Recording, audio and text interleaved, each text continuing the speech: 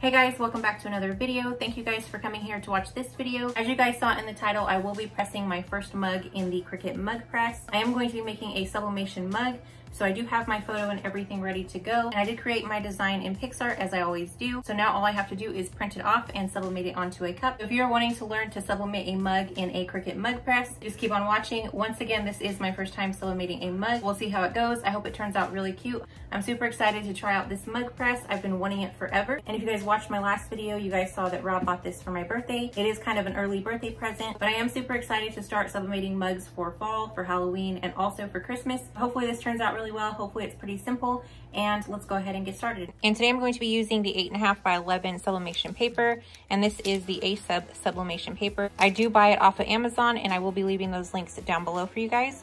But yeah, today we are going to be using the 8.5 by 11 since it is a mug and it's going to be a smaller print. And most of you guys that are already subscribed, you guys know we use the Epson ET15000. And today, since we are using the 8.5 by 11 paper, it is going to load into the bottom tray and the A sub words are gonna be facing up toward you. The white part is going to be down. And right now I have you on my phone. And like I said, I did design this graphic in PicsArt. Let me show you what the app looks like. It's right up here in the right hand corner and it's purple and blue and it says PicsArt. And I just designed it inside that app. I saved it to my phone and we do use Apple. So I'm just gonna go ahead and airdrop it over to my computer. And I went ahead and opened up Cricut Design Space. Then you just want to scroll down and it says Cricut Mug Press. And we're just gonna go ahead and click Mug Design Setup. And then at the bottom, you see Customize. And the size of mug that we are going to be using. Since it's my first mug and I just wanna see how it goes, I'm gonna go with the small Cricut mug, which is the small straight edge 12 ounce mug. And so that's what we're gonna click. So yeah, we have the small straight edge 12 ounce mug selected, customize. Okay, and here's our template right here. And this is what it looks like over here. This is just my template. I am going to make each of those invisible after I get my design on it. So now I'm gonna go ahead and upload image and we're just gonna be uploading the image I just sent over. Let's go ahead and click upload image. It says drag and drop file here or browse. So you can browse your image. You just have to type in the number for that image. I'm going to make it easy for me and I'm going to just drag and drop. So I'm gonna click my image and drop it. I always select complex. Continue. to select and erase. So if there's anything that you wanted to take off of the image, you could. You can over here. And I really like how it is already, so I don't have to do any editing. So I'm gonna go ahead and say continue. And I'm gonna go ahead and expand the screen. You guys already know we're going to print and cut. I'm gonna go ahead and click print then cut. Down here it says upload. And you wanna go ahead and click the image. We already have an artboard open and we're gonna go ahead and say insert image. And here it is right here. Obviously it's way too huge. So I am going to go ahead and resize it up here. Since it is locked right here, you can just change the width right here and it will automatically keep it in proportion. So I'm just gonna go ahead and shrink it down to like eight inches and then say enter and it automatically keeps it in proportion. So 8 by 4. And now that I have it small enough, I am going to be unlocking. So you want to go ahead and unlock the image. Once you have that image unlocked, you can just use this resizing button and just stretch it out to the width and height that you need it. And I'm going to be making these red cups invisible and also this outline and the teal background will all be invisible. But right now we're just trying to get the right size. Go ahead and stretch it all the way out to the width that you need it. And you're basically just wanting it to be the same size as this blue piece or this teal piece back here. This right here tells you what part of the mug it's going to be at. So this right here is the center of your mug, one side of your mug, and the other side of your mug. And I think that looks pretty good. So I'm gonna go ahead and go right over here. We have our print then cut. Then we have this basic cut. I'm gonna go ahead and make all those pieces invisible.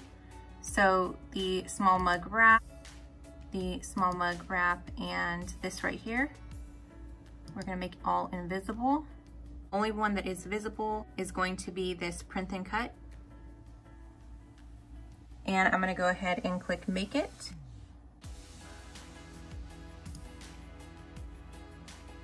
So over to the left, we have one copy, print and cut. Material size is eight and a half by 11. And we want a mirror. Always do mirror if you're doing sublimation because you don't want your letters to come out backward. And we do have the word it on here. So I do have to make sure that it is mirrored. And now we're gonna go down here and we're gonna click continue. Print and cut, eight and a half by 11. Mirror on. Send to printer. And we have the Epson ET15000, one copy. I'm gonna go ahead and turn off the bleed. And I am going to go ahead and select use system dialog. We're gonna go ahead and click print. Okay, and so here's our normal options that I always show you guys in my videos. And we have the Epson ET15000, default settings, media quality, best, layout. We already flipped it horizontally, so we don't have to do that again paper handling, scale to fit paper size. We don't have to do cover page, watermark, or supply levels. And I think it's ready. And click print.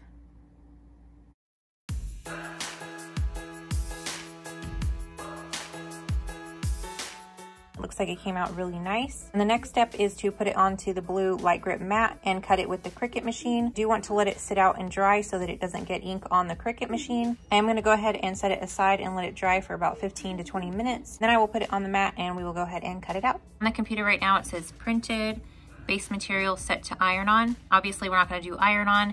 This is a sublimation print and we are cutting on a sublimation paper. It says adjust dial to desired material. So I'm gonna go ahead and take you guys over to the Cricut and we're gonna select a paper material. Instead of just putting it on the paper selection on the dialog, I am gonna go ahead and click custom or set it over to custom. And I'm gonna go back to the computer and pick a better selection. So you have all your materials right here, heavy patterned paper, light pattern paper, and then construction paper as well. And I'm just gonna click this right over here, browse all paper or browse all materials and just see what all there is. And here we have all of our paper materials. So we have construction, copy, deluxe paper, and I'm just gonna go with laser copy paper because that's what I've heard most people cut theirs on. So we're gonna go ahead and click laser copy paper. Done. And so that's all selected. It says printed. It says custom material set to laser copy. Now that I let my print dry a little bit, I am gonna go ahead and put it on the mat. So guys, I did have to go back and cut it on cardstock. So hopefully, yep. So when you go to settings on the Cricut, be sure to cut it out on cardstock because it will cut this out a lot better. You guys can see it's coming off of the image perfectly. Mug press has already been preheating, so it should be ready by the time I get it all cleaned up and get the image taped to the cup. So I am gonna go ahead and clean off the cup, put the image on the cup, and tape our butcher paper on. I'm just gonna clean off the mug, just make sure there's nothing on it. And you want to use butcher paper instead of the parchment paper because you need that butcher paper to soak up any of the moisture that is in between the cup and paper and just from the ink and gases on a sublimation print.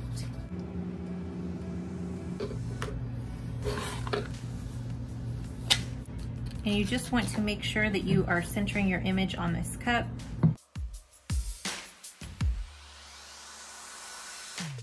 It just needs to be centered like this. The paper is flush with the bottom of the cup. We're gonna tape right here and right here. And this is just some regular heat tape. Um, it's actually the Cricut brand heat tape.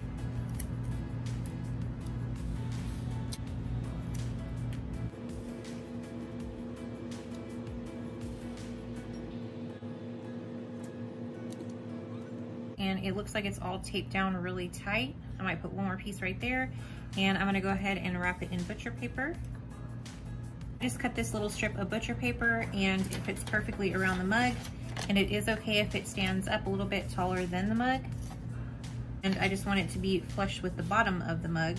So at the end of the print and the bottom of the cup.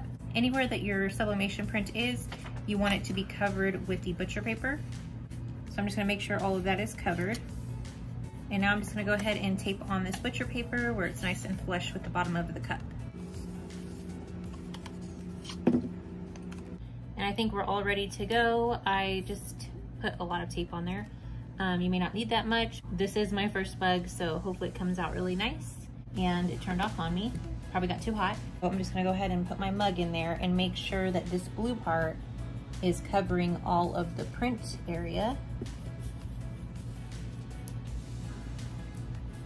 So hopefully I can see where the print is. I think it said it was gonna press for about five minutes, so it should go off when it's ready. I don't know what that means, but we'll see. I'm having one small problem. The Cricut keeps turning off, or the Cricut mug press keeps turning off on me. And I don't know if it got too hot or what, but um, yeah, kind of mad because my cup is in there ready to go and it just keeps shutting off. So the button just turned green again, so I don't know why it turned red and then turned off. Now it's turned back on. So I honestly don't know if the cup is done right now or if I should wait a little bit. So I'm gonna give it like a few more minutes. The paper is turning kind of brown. So I'm wondering if I should go ahead and just take it off. Let me grab a towel to take this out.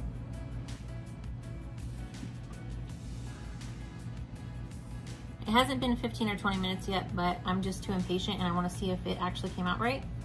So I'm gonna try to use this um, Cricut tool to take off this paper right now.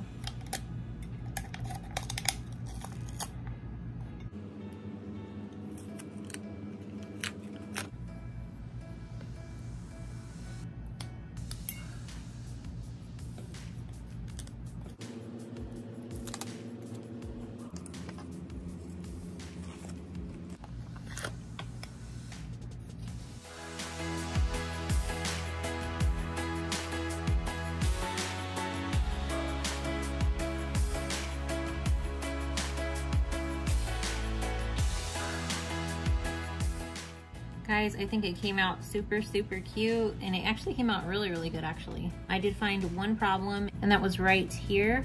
I don't know if you guys can see where it kind of turned yellow right there on the very corner or on the very edge right here. Maybe the paper wasn't that tight right there. Maybe there was a bubble. Didn't come out too bad.